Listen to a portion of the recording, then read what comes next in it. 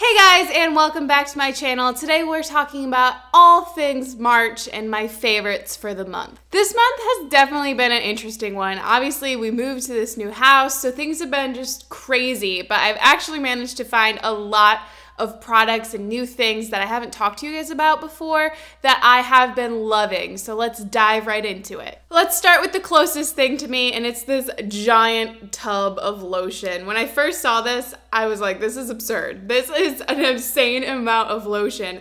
But I have gone through quite a lot of it so far. I don't know if you can tell, but I have been loving this. It is the Body Shop Spa of the World Hawaiian Kukui Cream.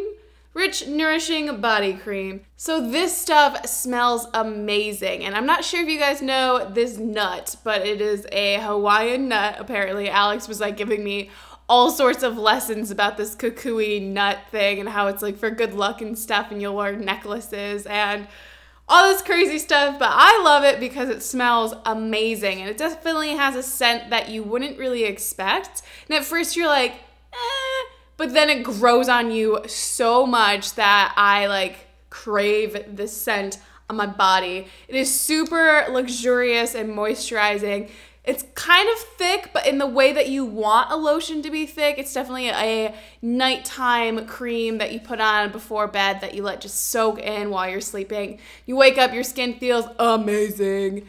And I just love how large it is. There's just something about this giant tub that makes me like super excited about it. Like this stuff is gonna last forever. My next favorite comes in the form of a shampoo, and I know what you guys are thinking, Kayla, you don't change your shampoo, which is true. I usually don't. I use the same shampoo like forever, and I have a very hard time accepting that there are other shampoos out there. But I love this brand, and I thought, you know what, it's time be a big kid, Kayla, and try something new. So it is the Living Proof Perfect Hair Day shampoo.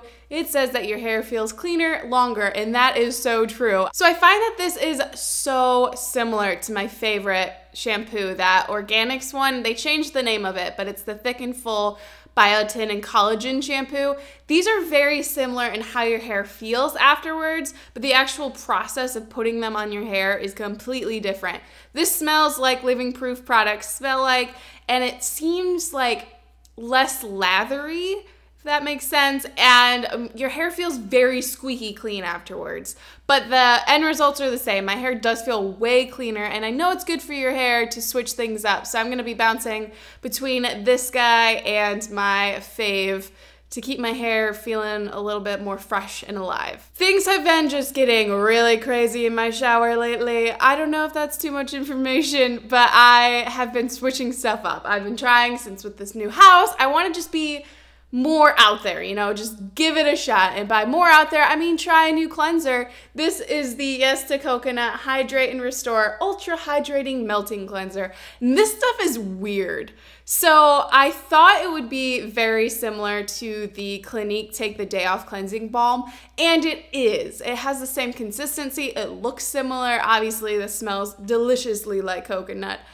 but it's weird. So I used it dry and in the shower with water as it suggests using it two ways. So I tried that and obviously it's a favorite because it's in my favorites video, but I have a mixed feelings about it. So when you put it on your skin, it feels kind of just like dry in the weirdest way. It's a gel, kind of like coconut oil consistency, but it makes your skin feel super dry, but not badly it just feels really, really dry, but your skin doesn't feel like it hurts or is itchy or there's like any pain or anything. It's so bizarro, but I really like it. It's just like after I get out of the shower, I'm like, wow, my skin feels weird, but my skin's been loving it and it works. So I guess, I don't know. Ah, I don't. My two favorite makeup items this month happen to be by the same brand. They're killing it, this brand. I've never tried it before this month, so I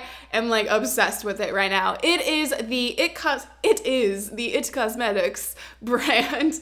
This is the Your Skin But Better CC Color Correcting Full Coverage Cream.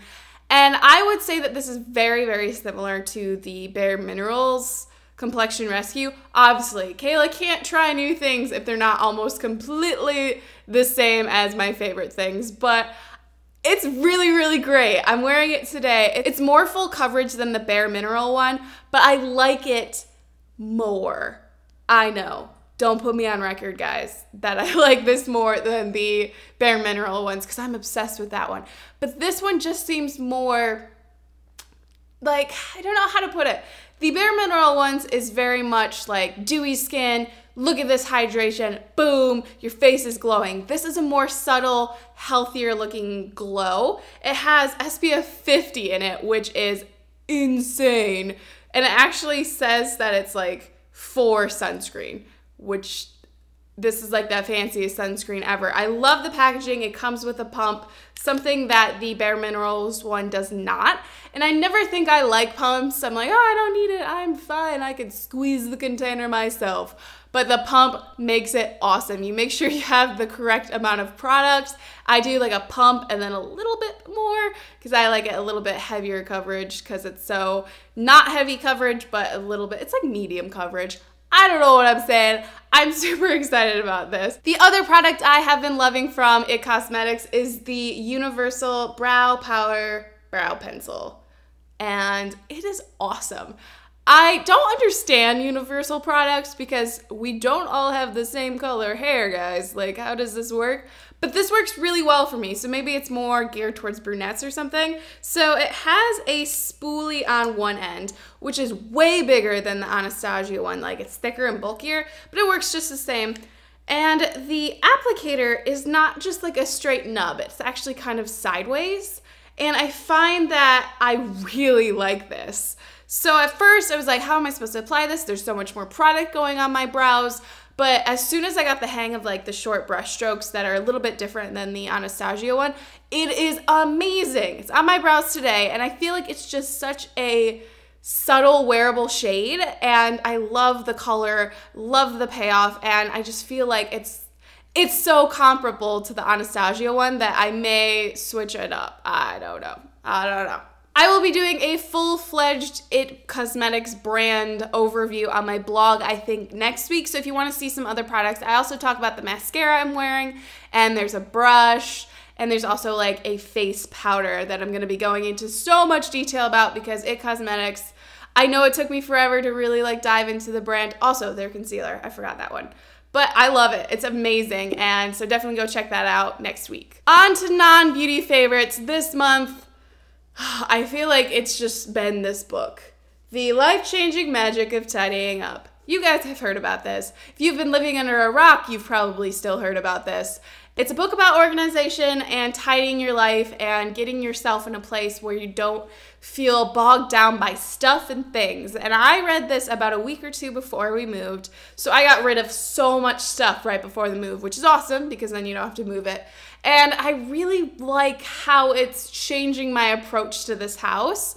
So there's been so many opportunities to get knickknacks and stuff from family and friends, and I've just been like, no, let us settle into the house. The house will tell us how we how we should decorate it, how it wants to feel. It's a little weird. I, I know it's a little mumbo jumbo-y, but like our house looks so great. It's not cluttered. I feel like when you have a house, all of a sudden you just feel like you have to fill it. And this room is a prime example. This room is almost empty, and I don't feel bad about that. I feel like over time it'll become a little bit fuller, and I don't want to just rush it because then my house is just going to be full of crap. So if you haven't read this book, it is good. Such a good read. And you take what you want out of it. A lot of her philosophies are a little too over the top for me. I'm not going to just get rid of everything that doesn't spark joy because sometimes you need a toaster. I don't get that excited about toasters, but you need one. So take what you want from it. It's definitely a book that you should figure out what works for you, but it was good. And it's definitely a testament to March. You guys know my obsession with Erin Condren. Not a shocker, but I recently got their lined like list notepads and holy crap on toast, guys.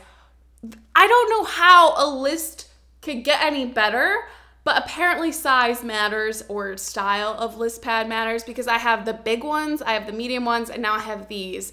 And I love these for daily to-do lists, for recipe, like um, shopping lists, anything. And I just think they're so cute. I've been using these lists like nobody's business. I also have one that a Hello Again gave me. So I think I just like the length the length of these or something because dang, dang, they're fine. Good stuff. So, a couple more random favorites this month. I have been obsessed with Jane the Virgin. I saw it on Netflix like a month or two ago, and I was like, this show looks ridiculous. Like, the thumbnail is bright pink, and there's just this girl like carrying a uh, pregnancy test, and I was like, this is crazy. But I have since watched about 19 episodes in probably four or five days. Oh my god, it's amazing. So it's basically a mock on telenovelas while being a telenovela. So it's kind of like a Mexican soap opera that has Mexican soap operas in it, but it the things that happen are very soap soap soporific. I don't know if that's a word. And it is amazing. They do it in such a good job that you don't feel like you're watching this tacky Days of Our Lives. But then when something is revealed, you're like, I'm literally watching a soap opera right now, but I love it. So if you haven't seen that show, definitely go check it out. It is worth a look see. Other than that, this month has been amazing and a whirlwind, and I have to say, I'm kind of glad it's over. It has rained almost nonstop. And I know April showers is a thing, so hopefully it just decides that it's only going to shower for a little bit so we can actually enjoy exploring the city and getting outside a little bit more. But I have been loving this house, obviously. It's awesome, and I can't wait to see what happens next month. But that's gonna be it for today's video. Let me know in the comments below what your favorites are for the month of March. I would love to find new products since I now am a girl who explores products that's who I am now. so leave those in the comments. As always, thank you guys so much for watching. Be sure to subscribe if you want to see more videos from me, and I'll see you in my next one. Bye!